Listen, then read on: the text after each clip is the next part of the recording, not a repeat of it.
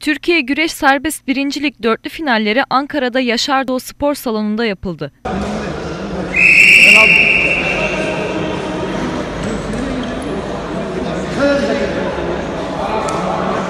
Müsabakalara Antalya Büyükşehir Belediye Spor Kulübü 1. Trakya Birlik Spor Kulübü 2. Kahramanmaraş SGK 3. Yine Kahramanmaraş Gimse 4. olarak tamamladı.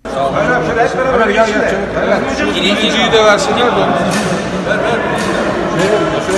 Trakya Birlik Spor Kulübü, Türkiye Güreş Federasyonu faaliyet programında bulunan Türkiye Güreş Serbest Birincilik dörtlü finallerinde ikinci olarak Türkiye Serbest Güreş Süper Ligi'ne yükseldi.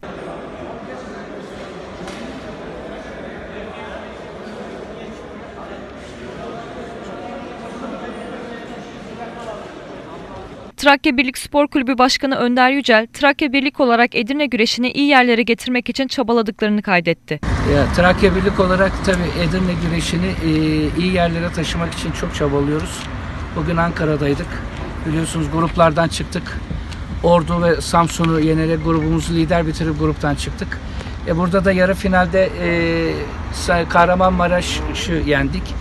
E, Kahramanmaraş'ı 7-3 yenip e, finale çıktık. Finalde de e, Antalya ile yapacağız herhalde. Ama tabii bu bir şey fark etmiyor. Süper Lig'e çıkmış olduk. İlk iki çıktığı için. Çok sevinçliyiz. Ee, inşallah e, çocuklarımız Süper Lig'de de Edirne'yi başarıyla temsil ederler. Ee, Edirne güreşini e, iyi yerlere getirmek için çabalıyoruz. Hocalarımızla, hocalarımıza teşekkür ederim.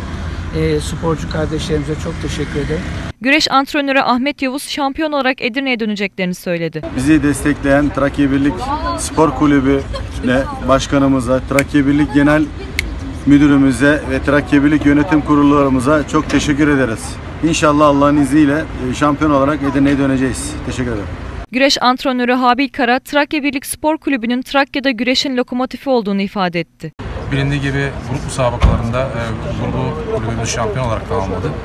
Tüm rakiplerini yendi. E, burada da inşallah şampiyon olarak Edirne'ye döneceğiz. E, bize destek olan başta yönetim kurulu başkanımız, e, genel müdürümüz, spor kulübü yöneticilerine ve tüm e, Trakya Biz ailesine teşekkür ediyorum.